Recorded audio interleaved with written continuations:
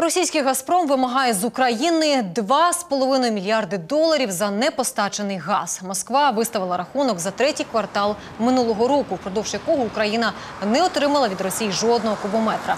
Втім, російський газовий монополіст застосував так зване правило бери або плати. Тобто покупець зобов'язаний платити, навіть якщо відмовиться придбати товар. Це правило Україна оскаржує у стокгольмському арбітражі. Загалом Газпром хоче стягнути з Нафтогазу за непостачене блакитне паливо понад 29 мільярдів доларів. Тим часом Росія спалює чотири рази більше газу ніж за увесь минулий рік продала Україні. Просто обігріває повітря. Це встановили американські науковці за супутниковими знімками землі. У цих газових смолоскипах Росія марнує 25 мільярдів кубометрів на рік, бо ці обсяги їй просто нікуди подіти.